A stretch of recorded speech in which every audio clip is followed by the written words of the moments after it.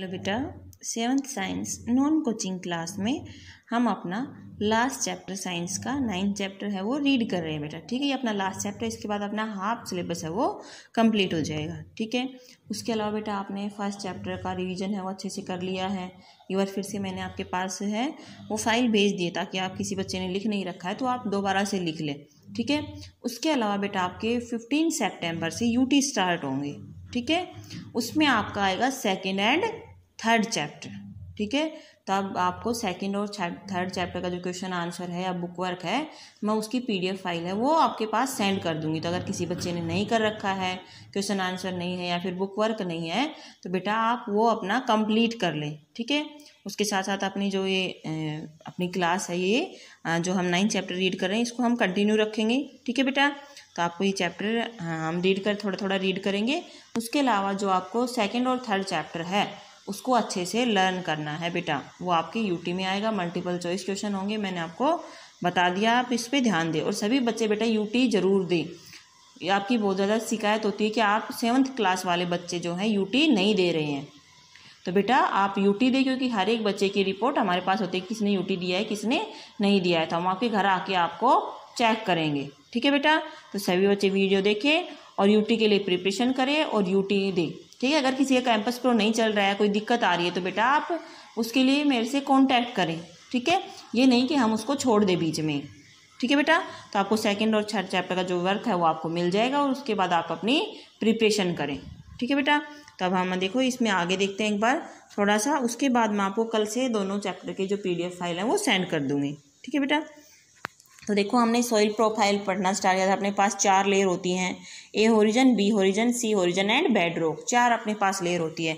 तो हमने top soil के बारे में पढ़ा है, जो डार्क कलर होती है, जिसमें ह्यूमस प्रजेंट होती है, जो सड़े गले पत्ते होते हैं, वो गिर जाते हैं, उनसे खाद बन जाती है, ठीक है? ये अच्छे न्यूट्रिएंट्स देती है पौधों को, ठीक है? उसके बाद हम सेकेंड पे आते हैं बी होरिजन एंड सब सॉइल पे आते हैं।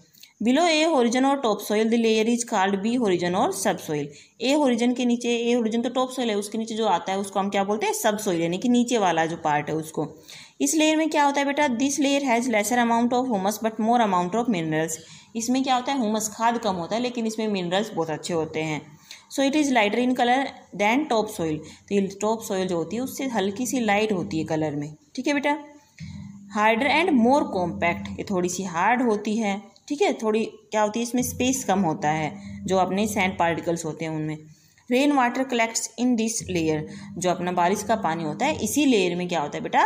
कलेक्ट होता है, इकट्ठा होता है। देखो, इस अपने पास डायग्राम दे रखा है। तो हम क्या कर रहे थे? ए ओरिजन की बात कर रहे थे। तो अपने पास क्या हो गया? ज़ीरो यानी कि अपने जो, अपने प्लांट्स हैं।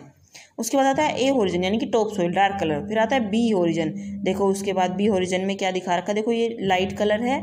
उसके बाद आएगा सी होरिजन ये उससे और लाइट हो जाएगा और डी होरिजन बैड यानी कि इस मिट्टी के नीचे बड़ी बड़ी चट्टानें होती हैं जो अपना हम कुएँ में पानी निकालते हैं या फिर जो हाँ, अपने पास सोइल है जो मिट्टी है जो अर्थ है वो पानी को सक करती है और ये कहाँ पे जाके इकट्ठा होता है बेटा? इन्हीं बेड रॉक्स में इकट्ठा होता है और ये फ़िल्टर होते ही जाता है ऊपर से नीचे तक। उसके बाद हम क्या करते हैं? डी होरिजन में से ये पानी अपने पीने के लिए निकालते हैं। ठीक है बेटा?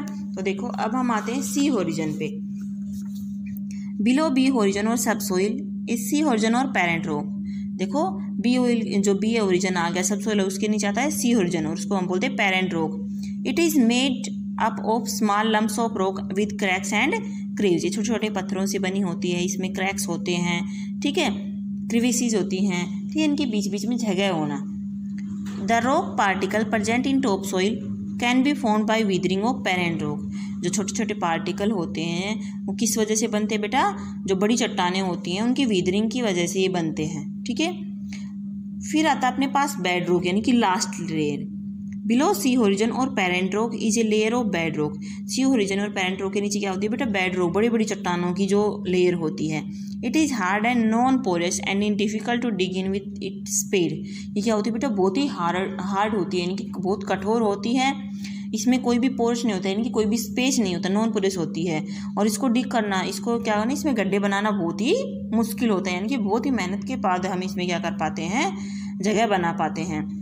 Rainwater after seepage is collected over this layer जो अपना बारिश का पानी होता है, मिट्टी सक करती सिप करती रहती है उसको, और उसके बाद ये कहाँ जाके इकट्ठा होता है बेटा? इसी लेयर में, ये इसी लेयर के नीचे है, ये इकट्ठा होता है।